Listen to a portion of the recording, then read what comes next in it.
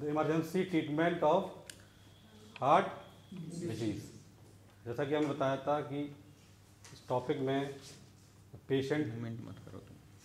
को cardiac arrest होता है। ठीक है? इस तरीके से उसके चेस्ट में पेन होता है। ठीक है? जब कार्डियक अरेस्ट होता है ब्लड सप्लाई बंद हो जाती है हार्ट में तो पेशेंट अचानक से गिर जाता है। मूव कर रहा है, चल रहा है, कोई भी काम कर रहा है बट अचानक से क्या होता है कि पेशेंट गिर जाता है या बेहोश हो जाता है। उस कंडीशन में हम लोग उसको क्या करते हैं? उसको फ़र्स्ट एड देते हैं। ठीक है? फ़र्स्ट एड के लिए क्या करते हैं? तो हमने उसमें बताया था आपको कि चार प्रकार से उसको हम लोग फ़र्स्ट एड कर सकते हैं। फ़र्स्ट वन इस पेशेंट को क्या करेंगे? सीधा लिटाल देंगे उसको। ठीक है? और उसके सर को उठा देंगे थोड़ा सा ठीक है? मुँह करके।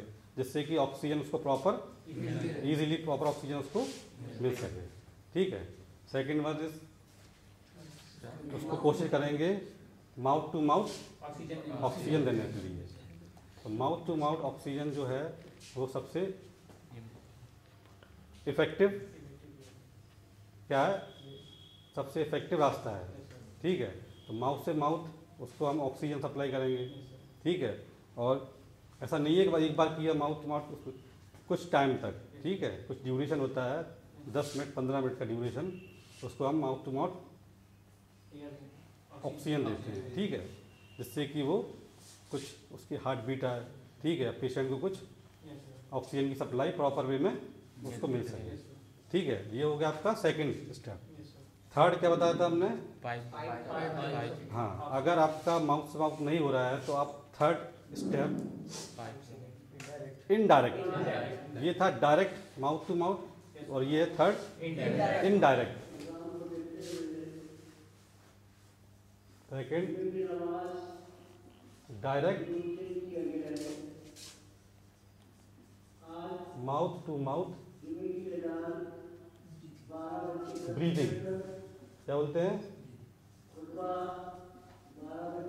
Mouth to mouth breathing and third is indirect indirect mouth to mouth breathing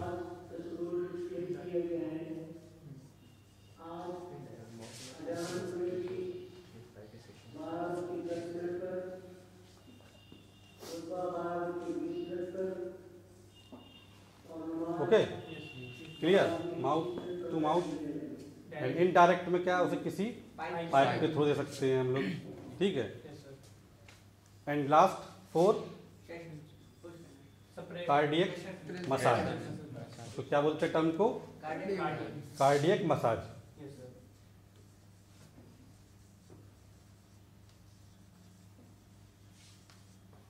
cardiac massage इसमें क्या करते हैं?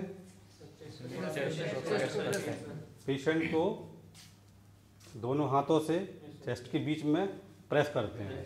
ठीक है? एक टाइम होता है कि उसको एक मिनट में कितनी बार प्रेस करना है? एक मिनट में उसको कितनी बार प्रेस करना है? टेन टू फिफ्टीन टाइम ठीक है? बीस से पच्चीस बार ten to fifteen twenty to twenty five times. उसको क्या करेंगे? प्रेस करेंगे जिससे कि पेशेंट को ऑक्सीजन की सप्लाई हो या जो भी हार्ट बीट नहीं आ रही है लंग्स में ऑक्सीजन की सप्लाई बंद हो गई है तो उससे क्या होगा? उससे उसको प्रेस कर। क्या होगा प्रेस करने से? पेशेंट को ऑक्सीजन लेने में हेल्प मिलेगी ठीक है? इस तरीके से उसको भाई जब वैस- ही नहीं पा रहा है तो हम उसको प्रेस करेंगे। कार्डियक मसाज के थ्रू पेशेंट को ऑक्सीजन सप्लाई करने की कोशिश करेंगे। जिससे कि पेशेंट की नर्व या कुछ उसका पल्स वगैरह इंक्रीज हो देन ये उसका लिए फ़र्स्ट एड के लिए। और first aid then go to the hospital ठीक है, ये चार हम लोग पैरामीटर यूज़ करते हैं। फ़र्स्ट वन क्या बताया था हमने आपको? पेशेंट को टाल देते हैं। ठीक है, सीधा। Second direct mouth to mouth breathing directly हम उसको ब्रीथ देते हैं mouth to mouth third one is indirect mouth to mouth breathing and fourth and last cardiac massage clear next topic is emergency treatment of fracture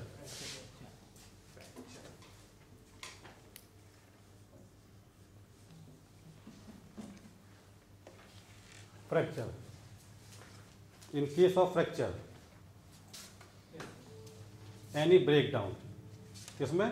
bones में. Any breakdown किसी प्रकार का bones में हड्डी में फ्रैक्चर हो जाना। ठीक है ब्रेक हो जाना। किसमें आता है? फ्रैक्चर। किस तरह से? जैसे आपने देखा होगा एक होता है simple fracture. Simple fracture means कि बोन्स में चोट लगी अंदर फ्रैक्चर है बट क्लोज क्या है? क्लोज यानी अं- बाहर दिखाई नहीं रहा अंदर ही अंदर रहेगा। ठीक है इसको कहते हैं simple fracture.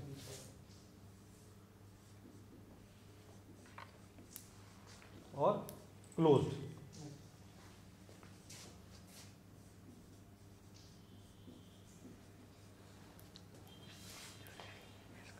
Next compound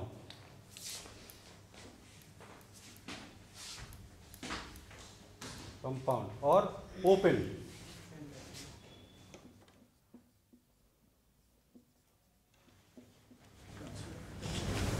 in this case severe case. इस केस में क्या है? बोन्स जो है आपकी, फ्रैक्चर होने के साथ साथ स्किन को भी डैमेज कर देती है, घाव हो जाता है। ठीक है, स्किन डैमेज हो जाती है और क्या हो जाती है?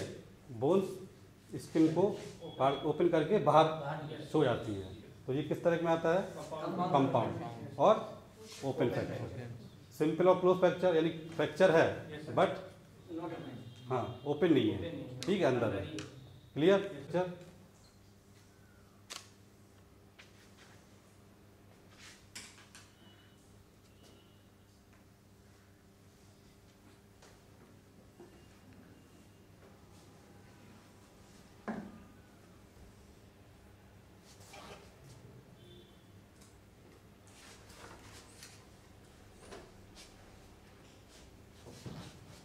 क्लोज्ड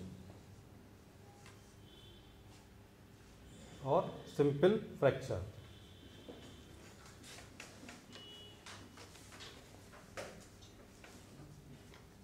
क्लोज और simple fracture. Next one is open और compound fracture.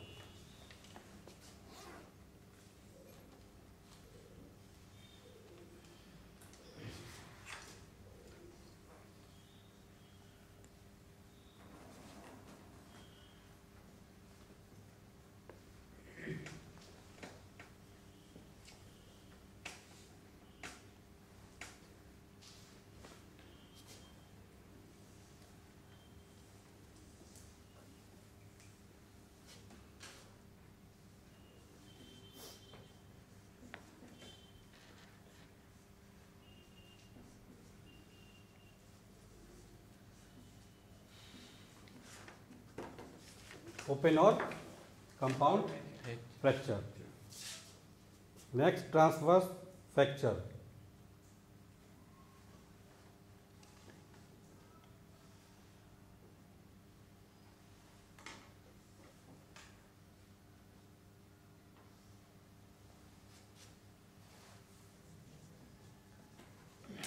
transverse fracture means middle fracture ठीक है बोन्स जब मिडिल से ब्रेक हो जाती है देख दिख रही है? Yes. तो सीधा पिक्चर बोन्स जो है मिडिल से। ट्रांसवर्स फ्रैक्चर जिस तरह से आप लोग ट्रांसफ़र सेक्शन करते हैं। इसमें फॉर द कोग्नोसी प्रैक्टिकल ट्रांसफ़र सेक्शन करते हैं? उसी तरीके से। Transverse fracture next and important green stick fracture green stick fracture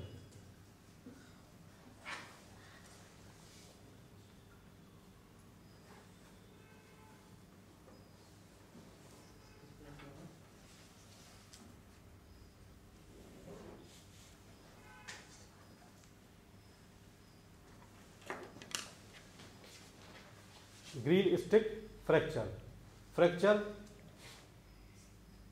on one side यानी एक तरफा एक तरफ़ से फ्रैक्चर रहेगा और दूसरी तरफ़ से जुड़ा रहेगा। बोन्स जो है प्रॉपर ब्रेक नहीं होगी। जैसे फॉर एग्जांपल में क्या होता ग्रीन स्टिक ये नाम दिया हुआ है ग्रीन स्टिक दैट मीन्स जब हम लोग ग्रीन स्टिक तो बच्चे जो है तोड़ते हैं हम लोग ब्रेक करेंगे तो क्या बीच से फट जाती है एक तरफ़ से। ठीक है ब्रेक आती है देखिए देखा है ब्रेक और एक तरफ़ से वन साइड ब्रेक जाएगी और वन साइड जुड़ी रहेगी पूरी तरीके और अगर सूखी होगी ड्राई स्टिक होगी तो क्या हो गया वो? टोटल टूट जाएगी। तो इसी को कहते हैं इसलिए नाम भी दिया गया green stick fracture clear next and last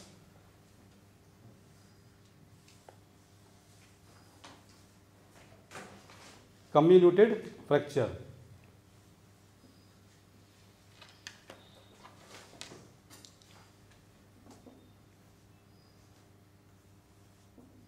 comminuted fracture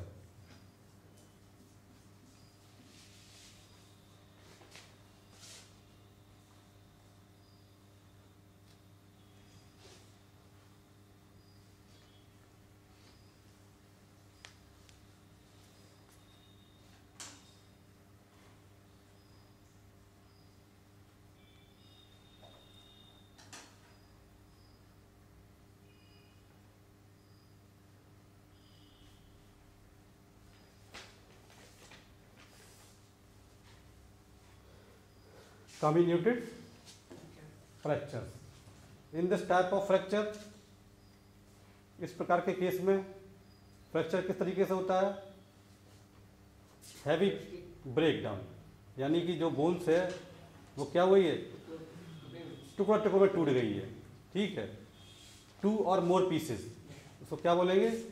to और मोर पीसेस तभी एकदम कहते हैं हड्डी को चकनाचूर हो गई हड्डी बहुत ज़्यादा डैमेज हो गई है। टूटी नहीं है ना ब्रेक नहीं हुई है लेकिन डैमेज हो गई है। एक होता है कि भाई हेयर फॉल हो गया बाल आ गया हड्डी में। ठीक है बहुत बारीकी हो गया। ठीक है एक हो गया कि हड्डी प्रेशर हुआ। ठीक है मैक्सिमम चोट लगी। तो क्या हुआ वो? हल्का सा ज़्यादा उसमें क्या चटकन है जैसे कोई चीज़ नहीं चटक जाती है। वैसा हो गया। इसमें क्या हो गया? कम्यूटेड मतलब टोटल फ्रैक्चर हड्डी चूर हो गई है। ओके तो ये फाइव टाइप्स की आपकी क्लोज और सिंपल फ्रैक्चर सिंपल मतलब सिंपल फ्रैक्चर क्लोज मतलब अंदर। ठीक है इंटरनली आपको ओपन और कंपाउंड फ्रैक्चर में क्या होगा? हड्डी जैसे नहीं कहते अपनी जगह से डिस्प्लेस दैट मीन्स डिस्प्लेस जगह से हट गई है आपकी। है तो वही लेकिन जगह से हट गई है। और ओपन और कंपाउंड फ्रैक्चर ट्रांसफ़र फ्रैक्चर जैसे कि आप लोग जान रहे हैं बीच से ब्रेक डाउन ठीक है? एग्ज़ाम्पल बताया था आपको T S of green stick one sided break down one sided break down and one sided add right जुड़ी रहेगी। एक तरफ़ से टूटी रहेगी एक तरफ़ से फॉर एग्ज़ाम्पल में ग्रीन स्टिक नाम ही इसलिए दिया गया है ग्रीन स्टिक ठीक? एंड लास्ट कम्युनिटेड फ्रैक्चर जिसमें क्या होगा बोन्स पूरी तरह से ब्रेक डाउन हो जाएगी। कंप्लीटली इसको क्या बोलते हैं? Complete completely fracture